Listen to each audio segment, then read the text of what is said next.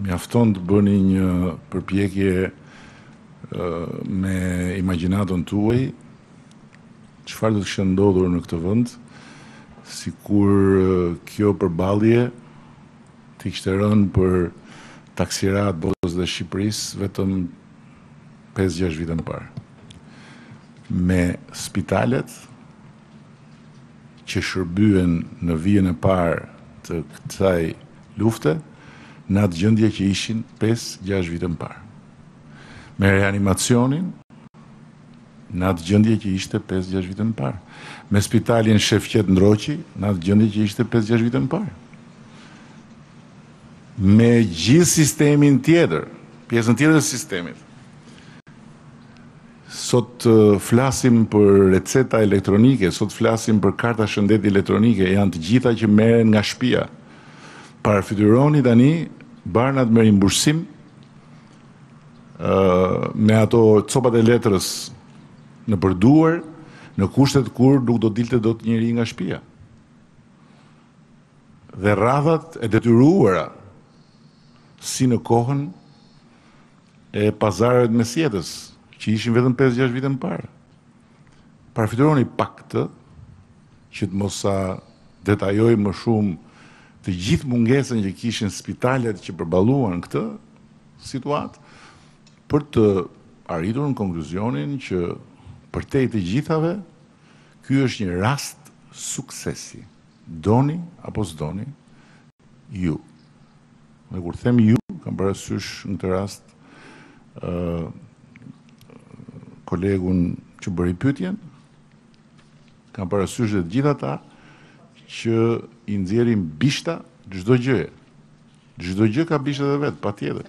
Sigur, sigurisht që, sigurisht që uh, Asgjë nuk është perfekte, por doni, nuk doni ju që insistoni të flisni nga distanca sociale ndërkohë që unë përgjigjem, ky është një sukses i madh fare i shtetit shqiptar, i shëndetësisë shqiptare dhe patjetër edhe i popullit shqiptar.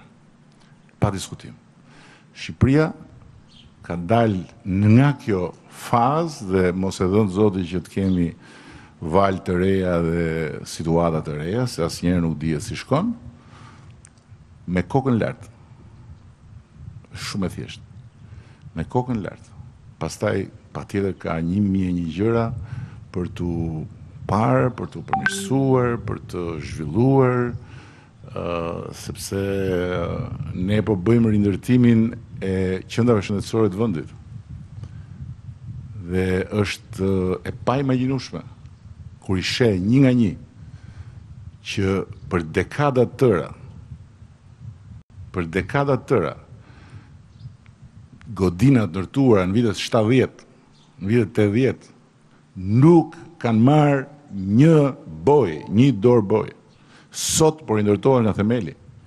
Sot janë dhjetra mijëra, e qindra mijëra, po të doni, shqiptarë që kur ne flasim për shërbim parësor, kanë shërbim parësor, jo një barakë Ku rri një përfaqësues i sistemit shëndetësor me një bluzë të bardhë që në të shumtën e javës është e mbyllur.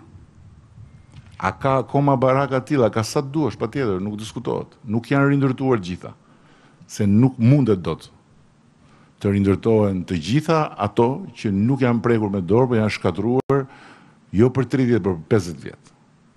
Ama ndërkohë që thuhet njëra, nuk duhet harruar dhe tjetra. Sepse vetëm kështu mund të jemi të drejtë me njëri tjetrin. Nuk ka asnjë problem me me vënien në pah të dobësive, të të metave, të mungesave, nuk ka asnjë problem. Nuk ka asnjë problem.